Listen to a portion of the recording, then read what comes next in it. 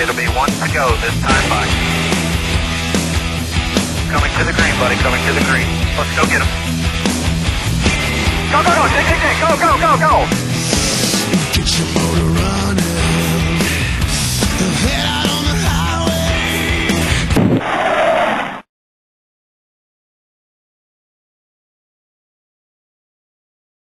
We kind of, you I went circles there for a little bit. At the end, when it cooled down, it got a little better, but it's a little late. But uh, I think, uh, you know, I, I, I had a car good enough to beat the 24. He, he pinned me down here in the last lap, and it got me really loose, so lost a bunch of momentum. But hey, it's what it is. So we finished third. That is good for the chase, and I don't know, we just move on. Well, I didn't think we were a second place car, so we're pretty happy about finishing second. Um, you know, we, we had a good pit stop and, and some, you know, good restarts there, and, and we're able to get ourselves actually into the lead, but couldn't maintain it. Um, you know, my car just didn't work good on the outside, especially early in the run. So, you know, we kind of gave up that lane to the 48, and, um, you know, once you give up that lane to them, he was so good up there, you- you're gonna you're going to lose the lead. And So we did, and, you know, we got to be happy with second. That was uh, a good day for us. Um, we did a really good job staying on top of things. We had, had solid pit stops. Um, thankfully, it wasn't down to two tire strategy or fuel only or something goofy at the end.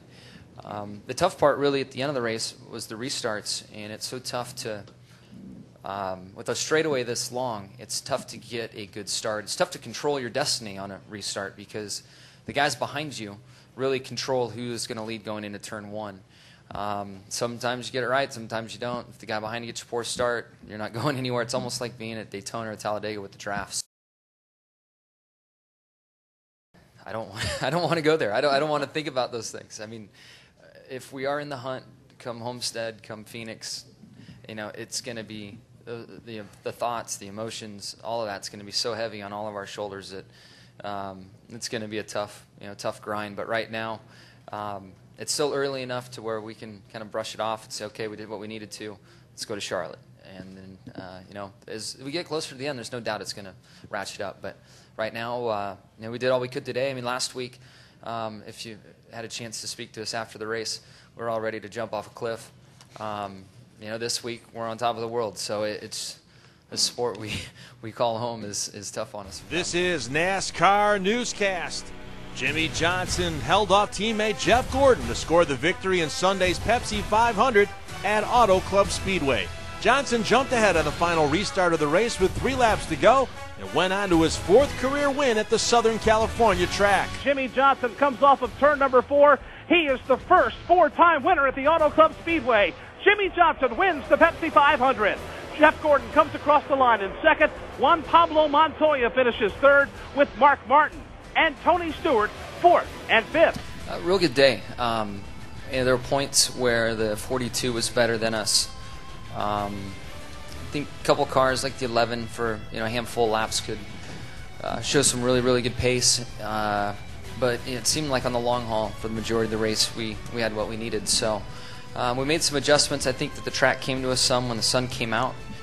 With the win, Johnson took the lead in the NASCAR Sprint Cup Series point standings by 12 over teammate Mark Martin with four races complete in the 10 race chase for the Sprint Cup schedule.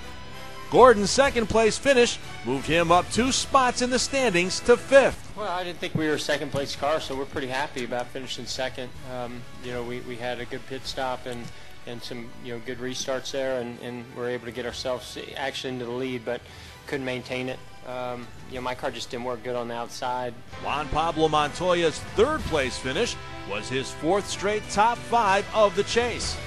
Johnson, Martin, and Montoya, who is 58 points behind, are the top three in the standings, with Tony Stewart and Gordon rounding out the top five as the series heads to Lowe's Motor Speedway in Charlotte for the only night race of the chase next Saturday and the NASCAR Banking 500 only from Bank of America. This is NASCAR Newscast.